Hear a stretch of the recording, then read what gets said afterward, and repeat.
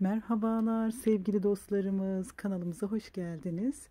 Bugün sizlere balkonumdaki sukulentleri görüntüleyeceğim arkadaşlar. Ne varsa e, kapatmam gerekiyor. Havalar e, soğuk soğumaya başladı. Dolayısıyla şöyle kapatmadan ne var ne yok bir görüntüleyeyim diyorum. Burada saksılığımız var. E, ondaki çiçeklere göz atacağız. Şöyle Harun Bey kadraja girdin yine. o da yağmur yağıyor ama dışarıda bir şeyler yapıyor. Kalan gülleri buduyor. Budamaya devam ediyor. Ee, şimdi burada bir e, sukulentimiz var. Bunun isminde şöyle çok fazla sessiz harfler bir arada olduğu için benim aklımda kalmıyor. Ben buna Feriha diyorum. Hani adını bilmiyoruz ya adını Feriha koydum ben bunun. Ama gördüğünüz gibi tomurcuk vermiş ve çiçek açacak. Harika çiçekler açıyor. Ee, bu havaların soğumaya başlamasıyla rengi daha bir döndü. Aslında daha yeşildir. Böyle hoş bir renkte. Şöyle yakın çiçeklerini yani yapraklarını diyelim çiçekleri tomurcukta olduğu zaman size onu da tabii ki görüntüleyeceğim. Şöyle bakalım orada ben bir kırık dal gördüm galiba. Evet böyle bir dal yarı kırılmıştı. Bunu bir yere dikeriz. Tutar. Tutma yani tutma ihtimali sukulentlerde daha yüksek olmakta arkadaşlar. Şöyle bakın. Bu bir dal. Ee, bunu da alacağım. Bu köşede böyle sevdi orayı. Orada duruyor. Bu arada ağaç bamyaları hala duruyor. Tohuma durdular iyice. Aa açılmış şurada. Açılmış. Ve sırayla gidelim. Ee, Malabar ıspanağı bir fidesini buraya aldım. Bir fidesi aşağıda arkadaşlar. Hala çiçek açıyor. Şöyle gördüğünüz gibi. Ve görsel güzel. Böyle mor çiçekler. Arkada da kırmızı görünenler uyuyan güzel. Bazı videolarda onu da görüyorsunuz. Malabar ıspanağının tohumlarına şöyle bakın. Daha önce de göstermiştim size. Tekrar göstereyim isterseniz. Şöyle işte böyle tohumları var. Şöyle bakın. Birçok tohum yaptı. Şöyle aslında sarmaşık olduğu için fazla da uzatmadan şöyle bakarsanız bu bitki yenilebiliyor arkadaşlar. Hem yemeği yapılabiliyor hem de salataya yaprakları koyulabiliyor. Aslında burayı budasam çok daha sağlıklı olur. Herhalde öyle yapacağım. Şöyle şu bu tarafı keseceğim. Oradan çünkü çiçeklerini açmaya devam ediyor. Evet şöyle hemen direkt dalalım. Bunun adını bilmiyorum. Yani daha doğrusu şu anda hatırıma gelmedi. Yanında yine kaktüs var bir saksıda. Bunu Şenay Koçcanoğlu arkadaşım hediye getirmişti. Böyle güzel oldu. Bunu ayrıca böyle almıştım birkaç tür. E, atlas çok sağlıklı değil. Evet görüyorum e, bazı türlerim. Size tabii ki çiçeklerin en güzel hallerini gösterdiğim için e, nasıl bakıyorsunuz? Çok güzeller, çok bakımlı. Aslında öyle değiller. Gördüğünüz gibi şöyle mesela peperomia var. Gitmek üzere neredeyse ama neyse ölmedi. İlaçladım arkadaşlar bazılarını da. E, para ağacı denilen krasula ovata bu güzel oldu. Bunu buraya indirdim arkadaşlar. E, balkon kenarındaydı. Şöyle yine yakut kolyesi, yine e, sukulen şey kaktüsle beraber böyle e, burada bir şey gösterecektim. Ha, şu yavrulayanları göstereyim. E, ana çiçeği de göstereceğim. O da yukarıda. Bu e, Graptopetalum denilen tür Şöyle yapraklarını koyuyorsunuz. Fide çıkıyor. O yavrular, oluşan yavrular. Şöyle bakın. Elimde malabar ıspanağından boyandı. Şöyle bakın. Böyle yavrular. Yapraklar kuruyor iyice. Oradan aldığı besinlerle yavrular oluşuyor. Hangi çiçek? Hemen bakalım. Graptopetalum. Bunda da ben bir hareket gördüm. Şöyle bakarsanız tomurcuk vermeye başladı. Geçen yılda aynı şekilde harika çiçekleri olmuştu. Beyaz çiçekleri var. Evet tomurcuk verdi. Açacak. Çok kolay.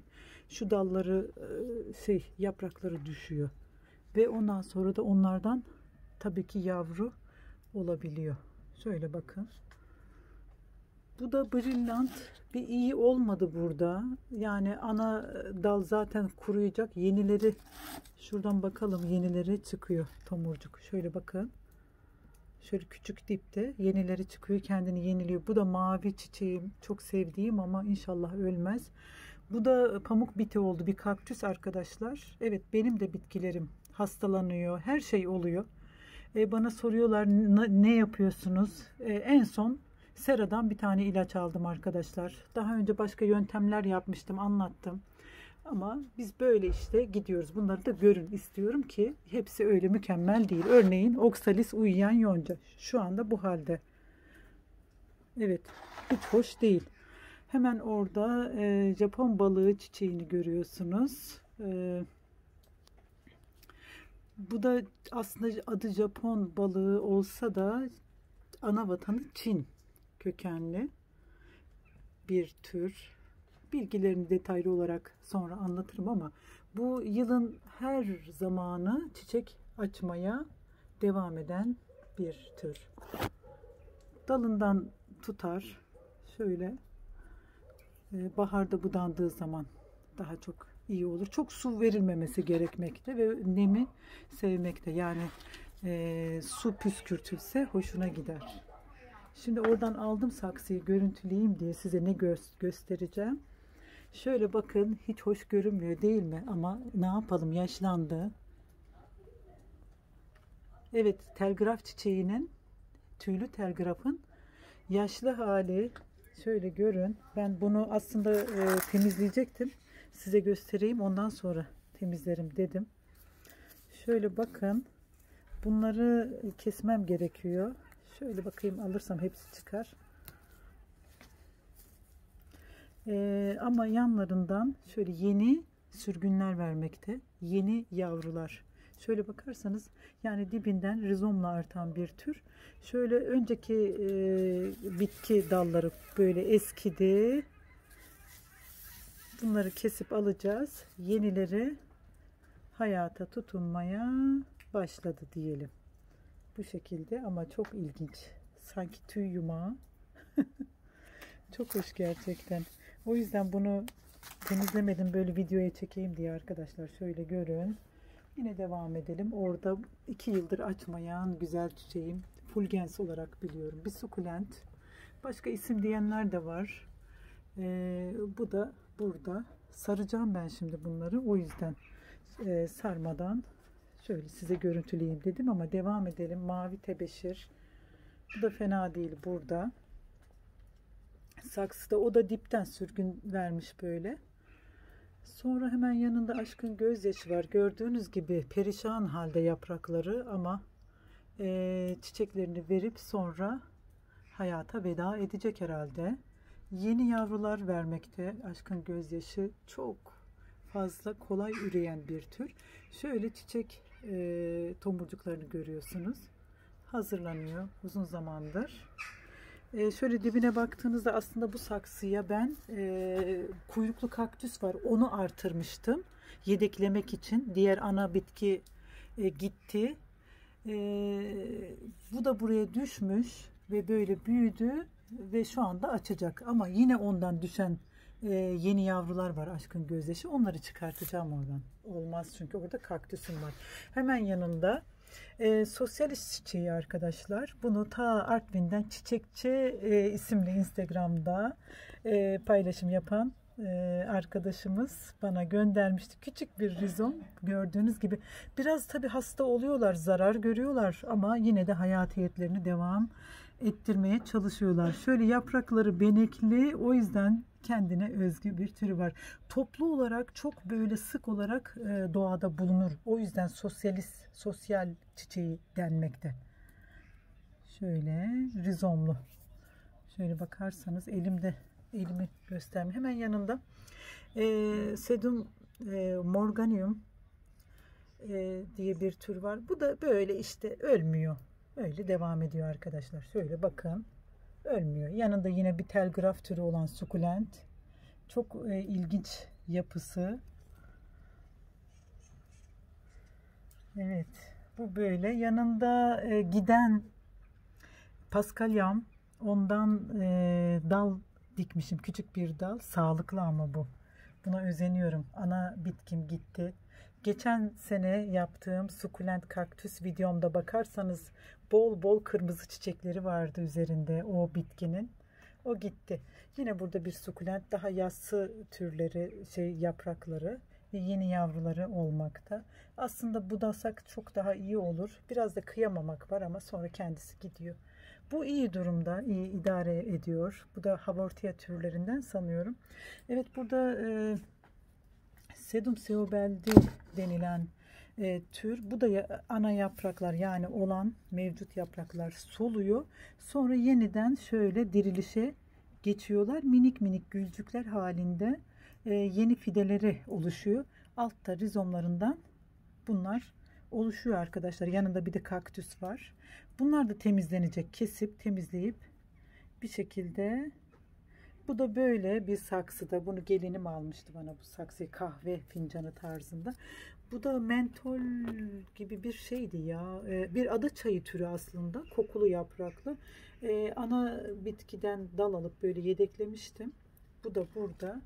E, bunu gösterdim sardunya videosu. Yakın zamanda çekmiştim. Evet sardunyalarım burada. Bu ikisi kardeş kardeş. iki güzel dost arkadaş. Benim Melihat arkadaşım e, bunu göndermişti. Öteki de benim. Böyle burada yarenlik ediyorlar diyeyim yani. Çok seviyorum. İnan baktıkça o güzel arkadaşımı e, anlıyorum. Evet. Bu onunkisi. Bu da benimki. Şöyle harikalar.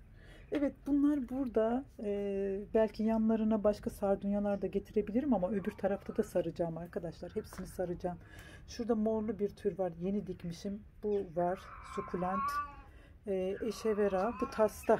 Şöyle bakarsanız. Bu tasın da bir hatırası var.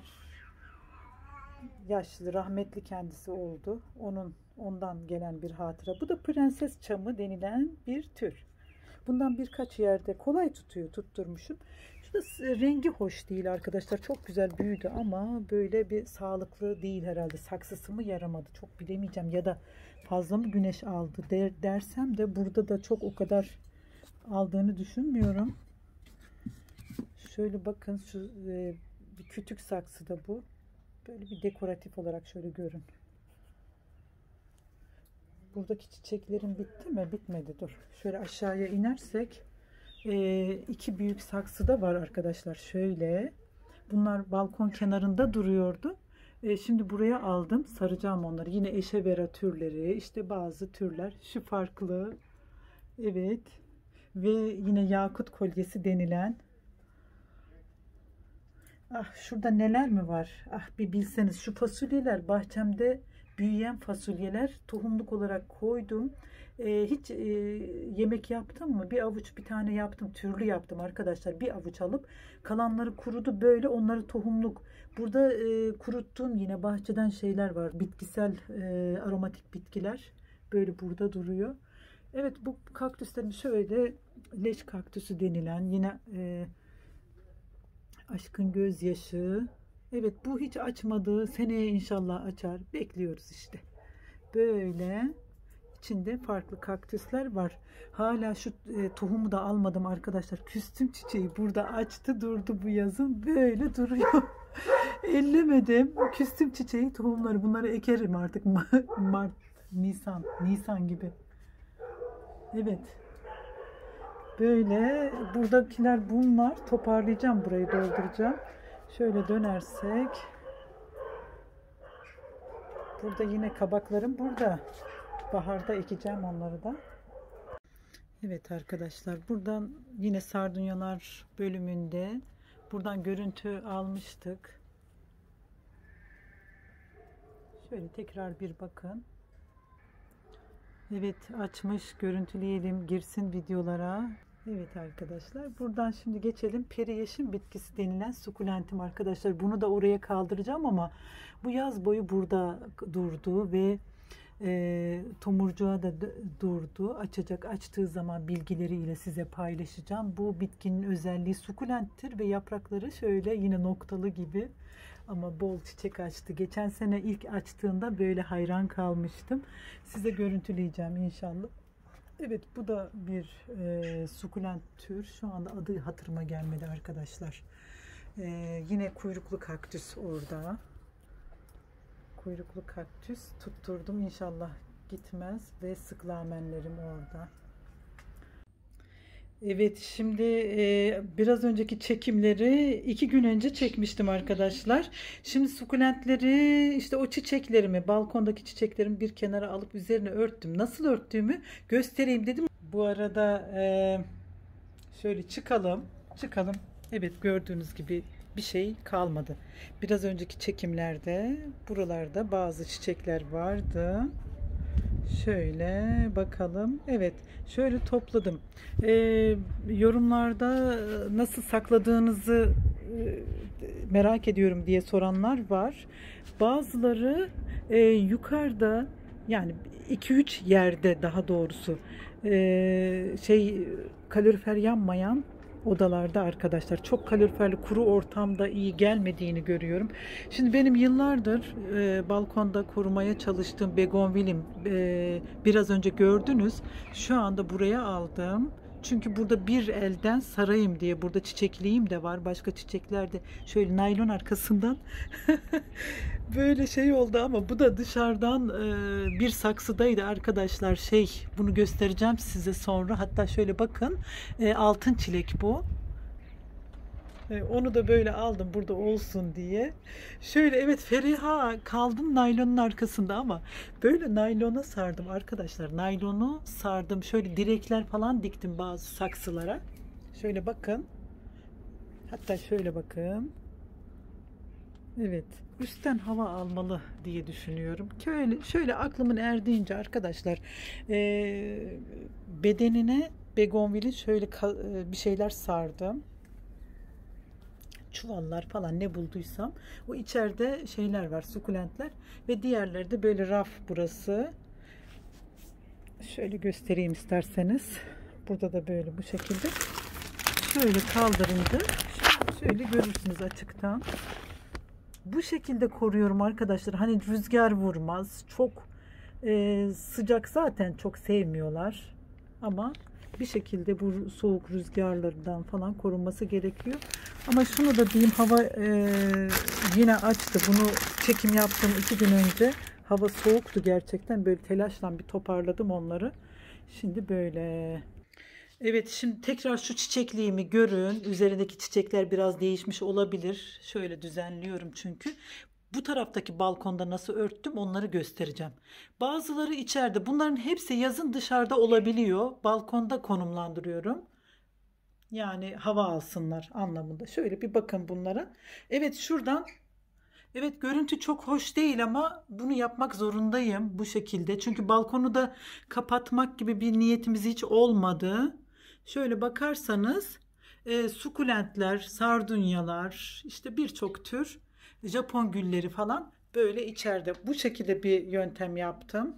Evet şöyle bakın arkadaşlar bu şekilde e, e, hatta çok zor sardım. Kediler habire e, atladılar çiçeklerin üzerine hep devirdiler. 2-3 sefer şu çiçeklerimi devirdiler. Sonra terliklen şöyle bir iki tane Nerede o? O burada yok. Şurada şu var ya şu şu mıncırık bu mazlum var ya çok sinirlendim. Te, terlikten bir iki tane attım ona. Yani belki kınayacaksınız beni ama kaç kere devirdiler. Toparlayamadım, yapamadım. Sonra şuraya çömeldi. Oradan bana nasıl böyle mahzunca bakıyor. Şu akıllı papatya pamuk kıskandı. Evet pamuk kıskandı geldi gördünüz mü? Gördünüz mü ben onları çekiyorum diye seni kıskanç seni. Havada yağmurlu, çamurlu biraz ve burayı da mahvediyorlar arkadaşlar. Yani yeni kilim yıkadım. Değişmeli olarak bunlara ben şey yapıyorum böyle. Bir de şuradakini göstereyim size. Burada da mum çiçeği var. Belki diyeceksiniz olmaz ama burada mum çiçeği. Ee, bu köşede.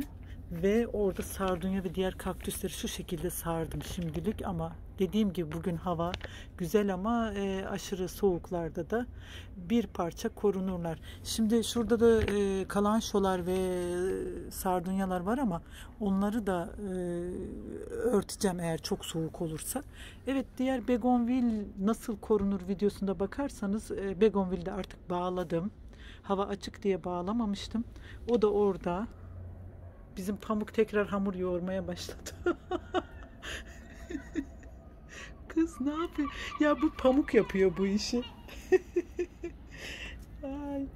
Evet sevgili dostlar burada bitireyim artık. Ben hani bu videoyu yani ek video olarak e, görün diye nasıl sardığımı görün diye e, çekiyorum.